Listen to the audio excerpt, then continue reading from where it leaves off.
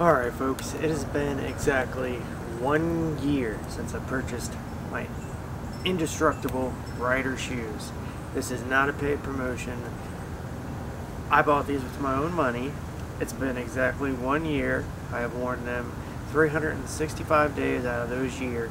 I've beat them up, yard work, out uh, metal detecting, magnet fishing, out gotten them wet in water, out in the rain let's go over. Are the indestructible shoes really indestructible after a year's worth of abuse? Let's check them out. I like putting good products towards you guys. Let you know. They're tip top. Let's go over it.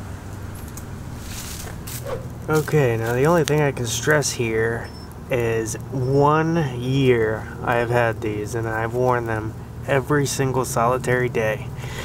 Keep that in mind.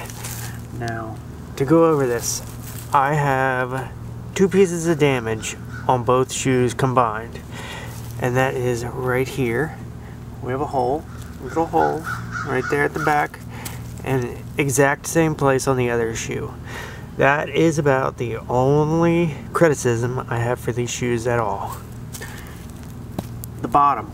I mean, that bottom is immaculate.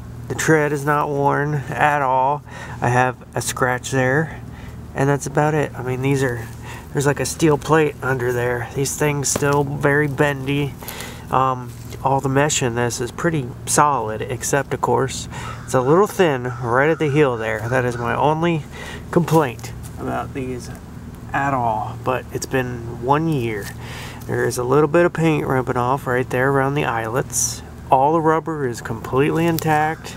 Nothing at all happened to the rubber. Of course, I'm getting it dirty for y'all right now, but steel toes are fine. Everything is completely perfect on these shoes except the one little spot right here.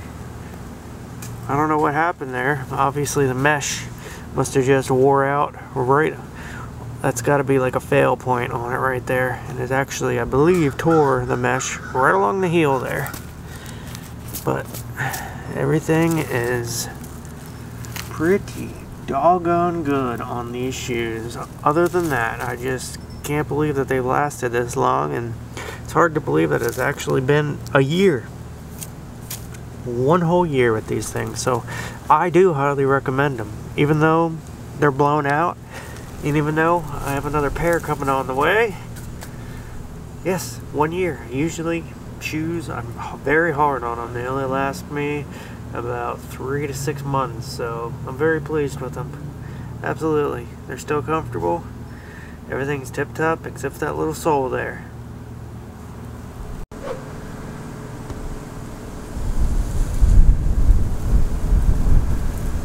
Now this right here is the reason that I believe the sole wore out where it connects to the mesh because they are 0.8 pounds per shoe.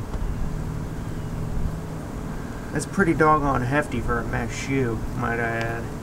Now, the soles are thick rubber and they got a piece of steel running through them and steel toe in them. That is reasonable, but they are uh, very, very heavy. But again, you gotta have uh, weight for durability. You can't have a 0.2 pound shoe and it be strong. And I'm very, very surprised at this mesh that it actually held up because I got this caught on the foot of the door so many times and nothing happened. Along with this rubber here. I don't know, it's just, it's awesome. I cannot believe that it withstood for an entire year.